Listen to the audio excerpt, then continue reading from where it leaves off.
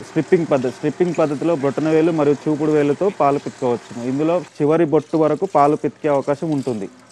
ఈ పద్ధతిలో పాలు పితికితే పొదుగు రాకుండా అదుపులో పెట్టుకోవచ్చు.